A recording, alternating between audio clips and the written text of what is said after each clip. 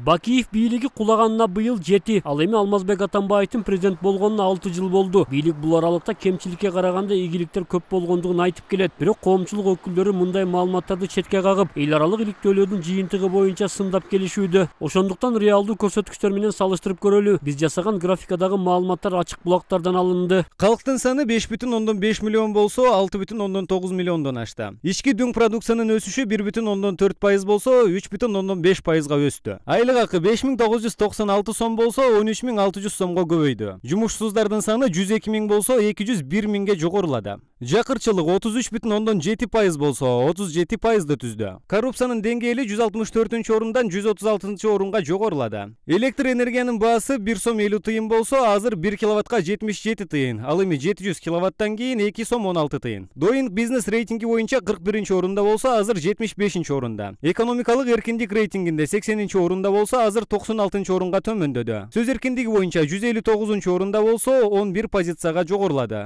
сырткы карызы эки бүтүн ондон төрт миллиард доллар болсо азыр үч бүтүн ондон сегиз миллиард доллар. Ошол эле кезде американын глобал финанс басылмасы кыргызстанды дүйнөдөгү элүү кедей өлкөнүн бири деп сыпаттады. Бириккен улуттар уюмунун тапшырмасы менен өткөрүлгөн иликтөөдө кыргызстан орто азиядагы бактысыз өлкөлөрдүн катарына кирди. Айрым эксперттер буга акыркы жылдардагы кескин төмөндөп кеткен экономика себепкер болду дешүүдө. Жыйырма беш жылда эркиндикке чыктык да биз эгемендикке эгемендикке чыкканда могу киши башына өндүргөн жана ички дүң продукциябыз он эсе тиги асып эмеге түшүп кетти да бөлөк өлкөлөргө салыштырганда эки миң онунчу жылдагы революциянын бирден бир максаты сот реформасы болгон. Бирок бул реформа аягына чыкпай. Бакиев мезгилиндеги эле соттор мурдагыдай эле адилетсиз өкүмдөрдү чыгарып элдин кыжырдаануусун жаратууда. Алмазбек атамбаев өзү да сот реформасы максатына жетпей калгандыгын белгилеген болчу. Келечекте сот өзүнчө бир толук кандуу бийлик бутагы болуш керек.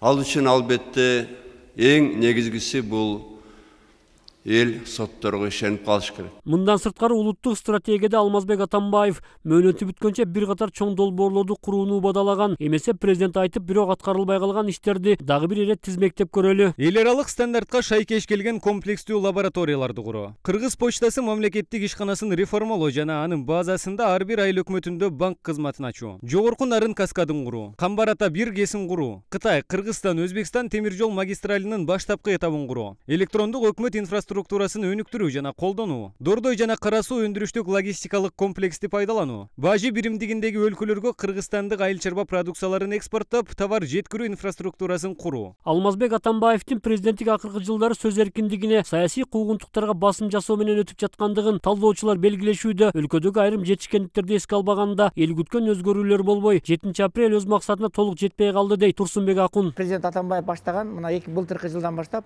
бир эки жылдан баштап уже биз демократиялык жолдон четтеп авторитаризм автократиялык бир жолго түшүп калганыбыз өкүнтөт да мына ошол эле саясий куугунтуктар болуп атат жогоруда иликтөөлөр көргөзгөндөй кыргызстанда ооз толтуруп айтчу өнүгүүлөр деле байкалбайт андыктан көптөгөн кыйынчылыктар менен келген атамбаевдик бийлик эл ишеничин аткара алдыбы же жокпу деген суроо азырынча ачык бойдон калууда рустам алымбаев сентябрь.